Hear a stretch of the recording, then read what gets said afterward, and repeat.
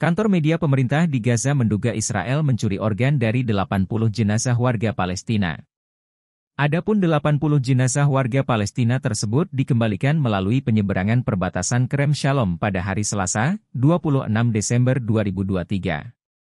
Setelah sampai di Gaza, 80 jenazah warga Palestina tersebut dilakukan pemeriksaan. Namun ditemukan bahwa kondisi 80 jenazah tersebut sudah tidak utuh. Banyak organ-organ penting mereka yang hilang. Hilangnya organ jenazah warga Palestina ini ternyata bukan pertama kalinya terjadi.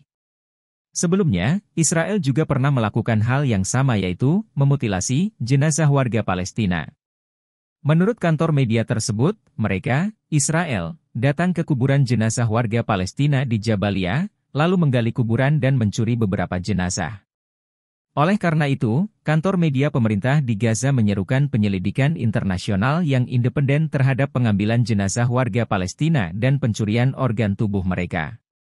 Menurut koresponden Anadolu Agency, jenazah puluhan warga Palestina tersebut merupakan sandera yang ditahan dan dibunuh oleh tentara Israel selama operasi di Gaza.